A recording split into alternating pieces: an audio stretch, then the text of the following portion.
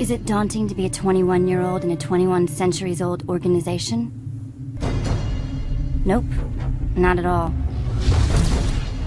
Tradition is a good thing. The loyalty between Templars may be old fashioned, but it is absolute. Once you're with us, you will never stand alone. For we are the lions of the secret world. When we roar, everyone listens.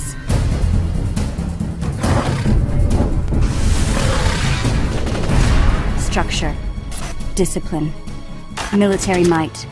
That's how you fight the rising darkness. Age doesn't matter when the cause is timeless.